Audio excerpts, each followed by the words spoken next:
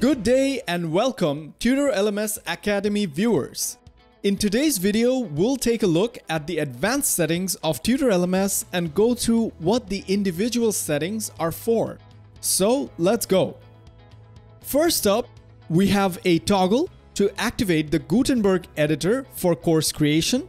So if you enable this on the backend course builder, you would be able to use the Gutenberg editor to edit courses instead of the tutor editor. Then we can enable to hide the course products on your shop page. So if this setting is disabled, your Tutor LMS course products, along with any other WooCommerce products you might have, will show up on the shop page. But let's say you enable the toggle and you don't want all the products to be shown and you want to hide only the tutor specific course products from your shop. This is the toggle that lets you do that. After that, we can select which page we want to be linked as our course archive page on the front end. Similar to the previous option, here you can select which page you want linked as the instructor registration page. Yet again, we have another setting to configure which page we want linked to the student registration page on Tutor LMS. Up next, we can change the lesson permalink base for Tutor LMS. So change this if you want to make any changes to the slug depending on what you might need. Then you can paste the API key for YouTube that you can set up from the Google Developer Console.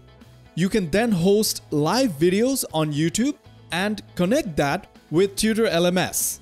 Next up, we have the profile completion toggle.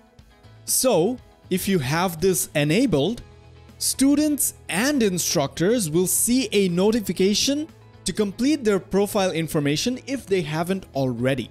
After that, we can toggle to enable the tutor login modal instead of the default WordPress login. So if you don't want your students or instructors to see the default WordPress login, you can show them the tutor login page instead. Next up, we have a very important setting.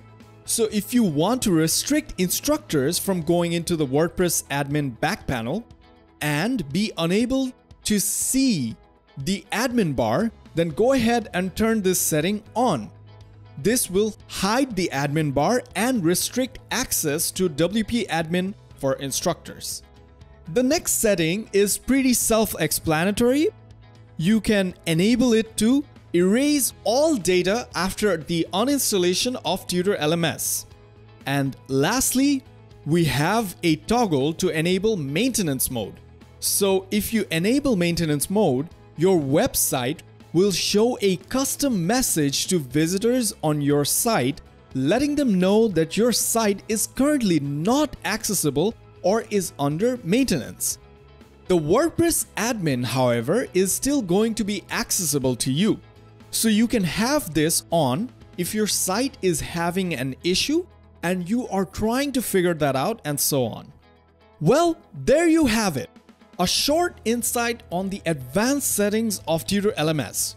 We hope that this was beneficial to you all. As always, be sure to let us know any feedback you had and we'll see you all on the next one.